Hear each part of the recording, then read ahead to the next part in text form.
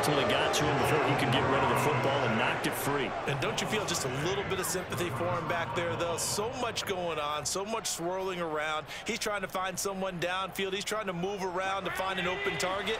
Sometimes you forget the number one thing, take care of the football.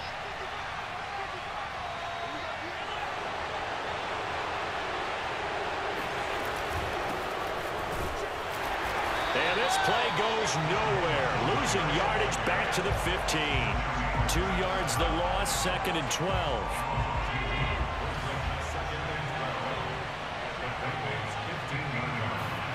So they fake the handoff. Now Allen rolling to his right. Thrown across his body, and it's intercepted. Picked up by Jessie Bates. There he goes, right side. He's at the 40 past the 20. And he will bring it back. It's a pick six.